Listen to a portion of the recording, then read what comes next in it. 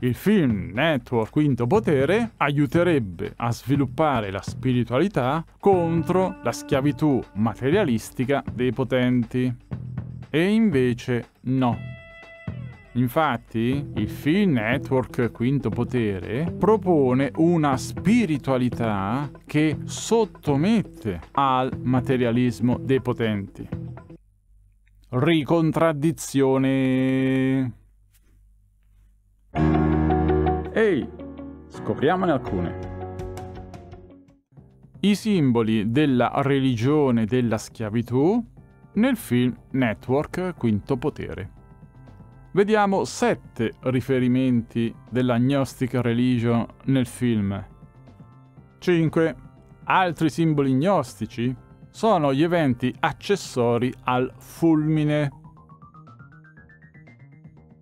come il tuono. È il tuono, che però è un effetto del fulmine, che fa alzare Howard e lo fa muovere all'azione.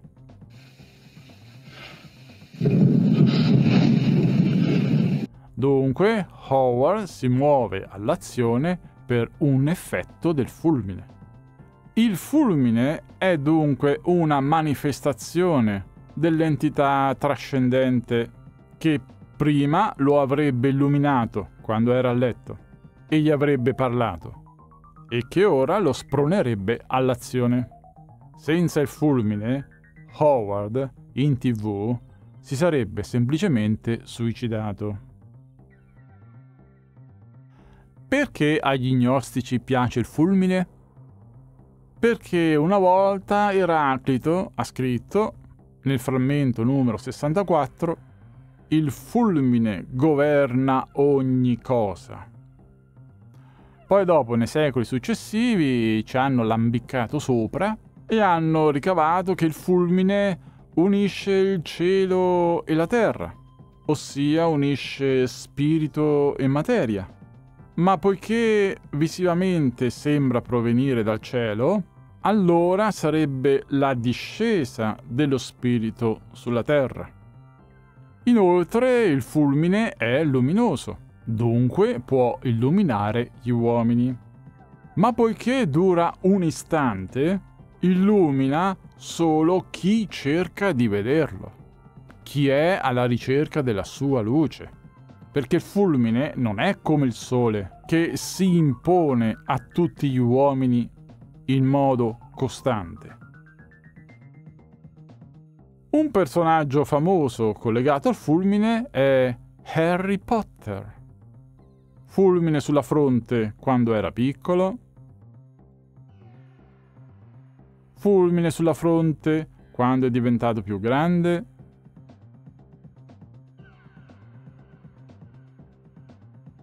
fulmine sulla prima lettera del cognome. Dunque ad indicare proprio l'entità gnostica come genitrice dello spirito di Harry. Sesto, Gnostic Symbol del film.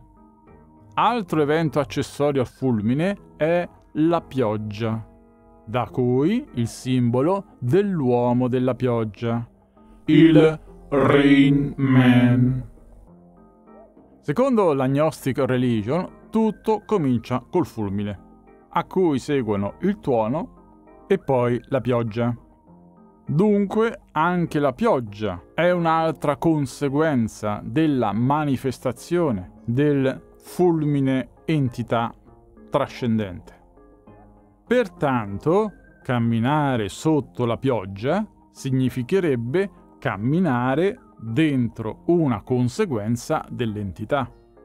E bagnarsi della pioggia significherebbe accettare l'entità gnostic su di sé, quantomeno la sua volontà. Tutto questo significa diventare un Rain Man, ossia un discepolo dell'entità gnostic, pro elite. Nel caso del film Network significa più esattamente diventare un profeta, dell'entità agnostic, come visto prima quando Howard raccontava il suo dialogo spirituale alla tv. Per la miseria, non ti chiedo di attraversare la nazione con il saio e le ceneri a predicare l'Apocalisse, che è un'altra citazione della Bibbia del libro del profeta Giona. Ora, con la scena della pioggia, sappiamo che invece gli chiedeva di attraversare la nazione sotto la pioggia. Infatti, se il Dio biblico fa attraversare la nazione con il saio e le ceneri, ossia all'asciutto, invece l'entità gnostic fa camminare all'opposto del Dio biblico, ossia sotto la pioggia. Tra l'altro, per evidenziare questa simbologia, il film mostra una scena in cui contrappone Howard con altre due persone che gli passano a fianco. Queste persone hanno l'ombrello, sono vestite di nero da capo a piedi, chissà, forse simboleggiano i preti e i rabbini della religione biblica, e soprattutto corrono mentre Howard cammina. Quindi qua abbiamo la scena di Howard che cammina in questa direzione e questa persona che sta correndo nell'altra direzione. Ossia, queste due persone con l'ombrello si riparano dalla pioggia e la fuggono. E tra l'altro vanno in entrambe le direzioni rispetto a quella di Howard. Vediamo la seconda persona. Questa è la seconda persona con l'ombrello che corre. Howard si trova a questa altezza, Howard avanza e la persona lo raggiungerà e lo supererà perché sta correndo, mentre Howard si limita a camminare. Ossia, il senso di questa scena del film è che la presunta differenza e superiorità della dignità di alcune persone rispetto alle altre non starebbe nella direzione che si prende, ma nell'accettare su di sé o nel rifiutare la pioggia. Per cui si può anche andare nella stessa direzione di Howard e superarlo. Ma se si fugge dalla pioggia, non si sarebbe come lui non si sarebbe al livello della sua dignità. Se poi si preferisce il sole, non ci sarebbe proprio speranza.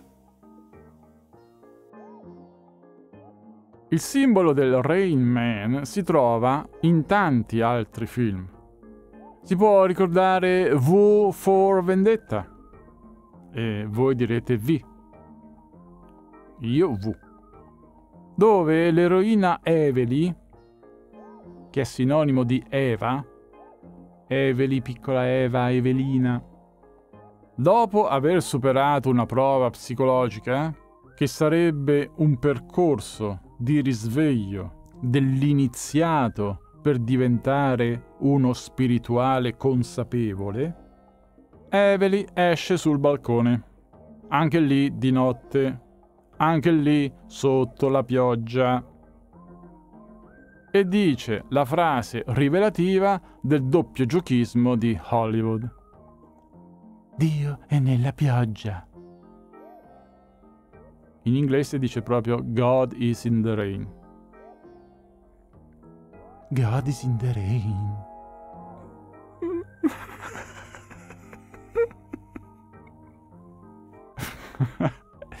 e poi si mette a piangere perché ha capito tutto della vita e perché ringrazia l'entità.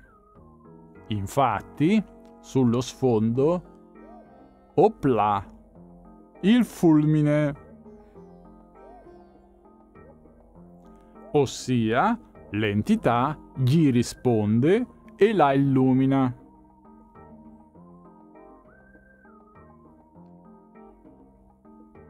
Eh? Tuttavia, questa storia della pioggia, del Rain Man, è una cosa molto vecchia a Hollywood. Era presente anche nel film Cantando sotto la pioggia del 1952.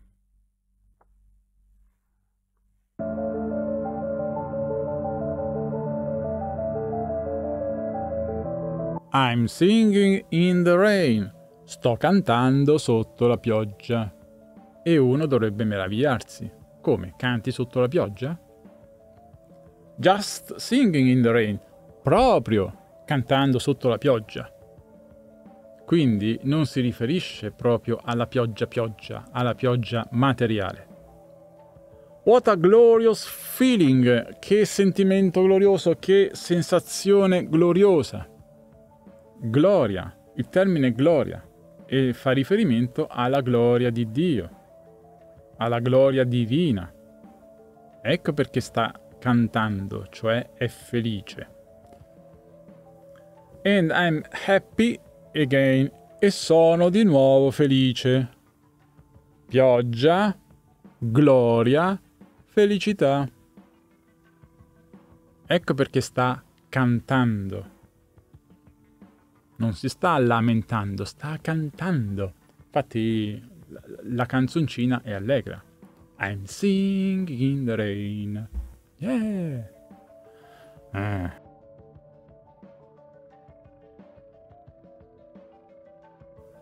I'm laughing at clouds. Sto ridendo alle nuvole. Sto ridendo in che senso? Le sta prendendo in giro? No, sta ridendo nel senso che sta ringraziando le nuvole che gli portano quella pioggia spirituale.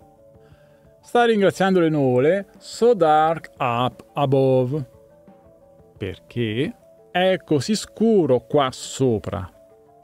Qua sopra dove? Sopra la terra. Ed è interessante che l'oscurità sia sopra la Terra non perché si sta riferendo all'oscurità delle nuvole, perché una scena famosa di questo film è quando Gene Kelly balla sotto la pioggia di notte. Quindi quando sta riferendo all'oscurità sopra la Terra, si sta riferendo ad una oscurità spirituale. Il sole, the sun in my heart, il sole è nel mio cuore. Il sole, l'energia è dentro perché la pioggia evidentemente ha risvegliato quell'energia del cuore, ha risvegliato lo spirito. And I'm ready for love. E sono pronto ad amare. Ringrazia le nuvole perché sopra la terra c'è l'oscurità, ma grazie alla pioggia il sole è nel mio cuore, lo ha risvegliato, ha riacceso il sole. La pioggia riaccende il sole, quindi una cosa spirituale riaccende un'altra cosa spirituale dentro di te e con quella sei pronto ad amare. Mentre prima, evidentemente, no. Che bella la pioggia! Quindi prosegue. Nella quinta parte, ancora sul sesto simbolo della religione della schiavitù del popolo nel film Cantando sotto la pioggia.